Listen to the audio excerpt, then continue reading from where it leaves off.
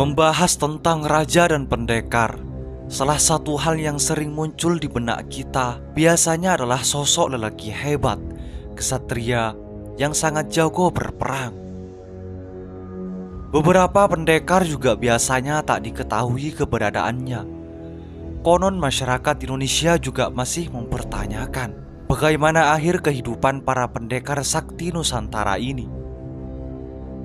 Apalagi beberapa di antaranya bukan hanya bertugas sebagai pendekar, tetapi juga seorang raja yang disegani oleh rakyatnya.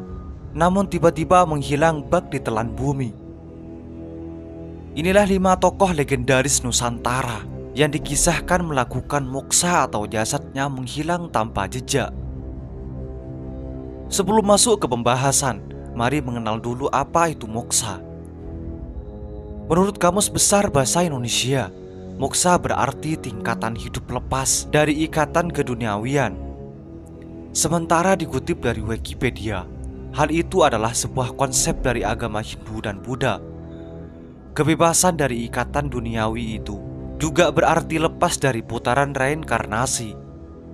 Istilah tersebut sudah dikenal sejak ratusan tahun silam atau sejak zaman kerajaan.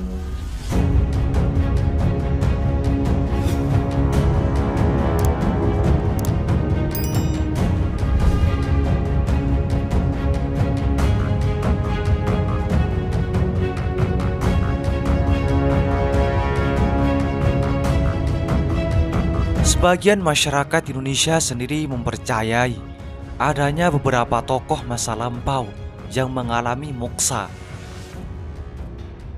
Dilansir dari berbagai sumber, berikut ini lima tokoh Nusantara yang konon mengalami moksa sehingga jasadnya menghilang tanpa bekas.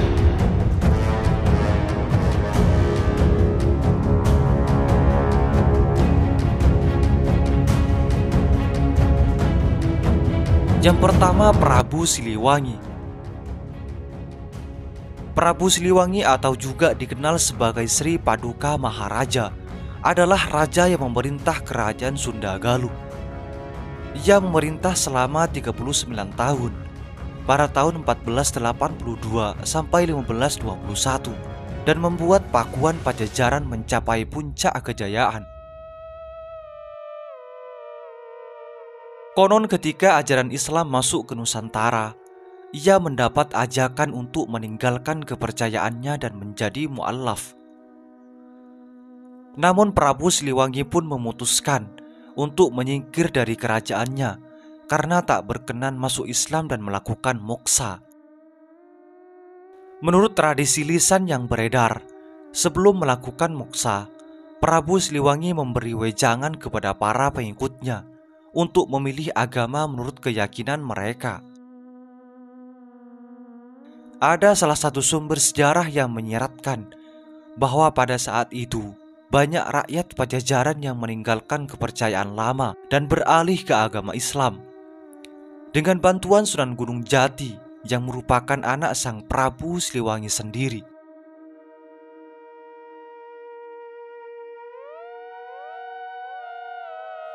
Yang kedua, Gajah Mada. Gajah Mada adalah seorang panglima perang pada zaman kerajaan Majapahit pada kisaran tahun 13 ribuan. Ia menjadi Mahapatih, menteri besar pada masa Ratu Tribuana Tunggadewi, dan kemudian sebagai Amangku Bumi, Perdana Menteri yang mengantarkan Majapahit ke puncak kejayaannya.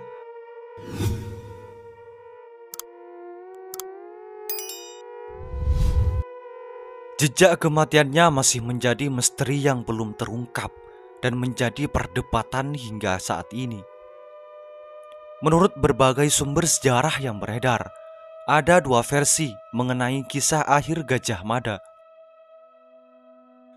Versi yang pertama tertulis pada kitab Kakawin Negara Kartagama. Ia diceritakan mengalami sakit dan akhirnya meninggal pada 1364.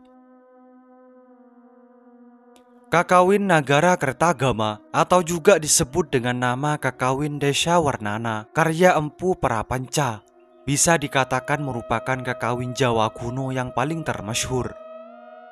Kakawin ini adalah yang paling banyak diteliti pula Kakawin yang ditulis pada tahun 1365 ini pertama kali ditemukan kembali pada tahun 1894 oleh J.L.A. Brandes, seorang ilmuwan Belanda yang mengiringi ekspedisi KNIL di Lombok. Dia menyelamatkan isi perpustakaan Raja Lombok, tepatnya di Cakra Negara, sebelum istana sang raja itu dibakar oleh tentara KNIL. Sedangkan versi yang kedua diambil dari Kidung Sunda yang menyebutkan Gajah Mada tidak meninggal. Kidung Sunda adalah sebuah karya sastra dalam bahasa Jawa. Pertengahan berbentuk tembang syair dan naskahnya ditemukan di Bali. Pada saat terjadi perang Bubat, perang antara kerajaan Pajajaran dengan kerajaan Majapahit, Gajah Mada melarikan diri. Dia kemudian memilih hidup sebagai petapa dan melakukan moksa.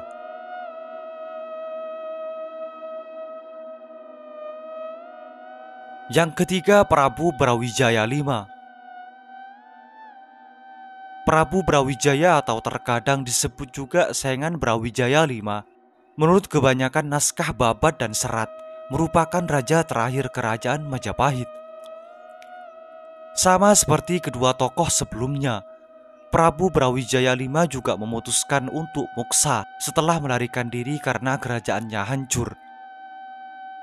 Dikarenakan berdirinya kerajaan Demak yang dipimpin oleh Sultan Trenggono setelah Pati Unus dan Raden Fatah. Namun sejarah versi lain mengatakan, sebagaimana tertulis dalam serat Dharma Gandul, ia akhirnya bersedia beralih agama dan masuk Islam sebelum akhirnya meninggal. Hal itu terjadi ketika kerajaan Demak menyerang dan Brawijaya V berhadapan dengan Sunan Kalijaga. Serat Dermagandul adalah suatu karya sastra Jawa baru berbentuk puisi tembang Macapat yang menceritakan jatuhnya Majapahit karena serbuan tentara Demak yang dibantu oleh Wali Songo.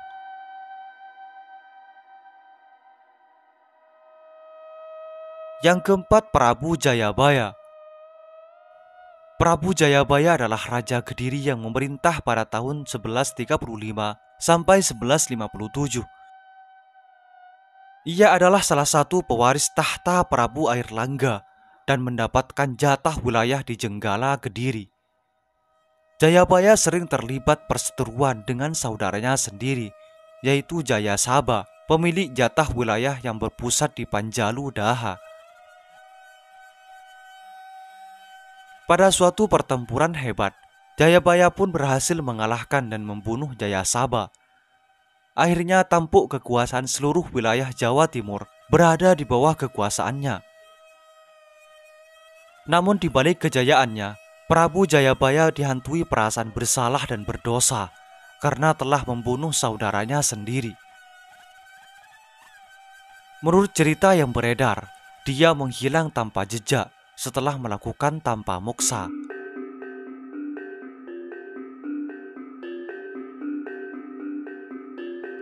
Yang kelima Sabdo Palon Noyo Genggong Tokoh Nusantara yang konon melakukan muksa adalah Sabdo Paloh Noyo Genggong Menurut beberapa sumber, Sabdo Palon Noyo Genggong adalah nama lain dari Semar, salah satu tokoh punakawan dalam pewayangan Jawa dan Sunda. Kendati banyak orang yang menganggap Punakawan adalah tokoh fiktif yang tak sedikit orang yang mempercayainya. Ada pula yang menganggap Sabdo Palon adalah penasehat Brawijaya V.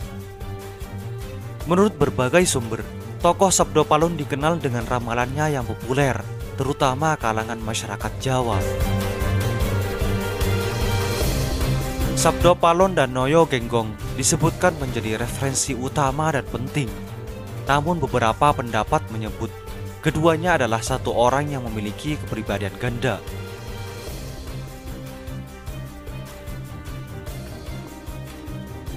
Menurut kitab Jayabaya, Sabdo Palon dikisahkan sering menjadi penasehat raja-raja yang berkuasa di tanah Jawa, seperti salah satunya Raja Brawijaya V Konon ia memutuskan pergi dan menghilang tanpa cara moksa setelah Prabu Brawijaya V menjadi mualaf. Itulah lima tokoh legendaris Nusantara menghilang tanpa jejak.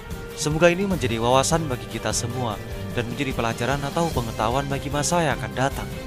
Semoga informasi ini bermanfaat. Assalamualaikum warahmatullahi wabarakatuh.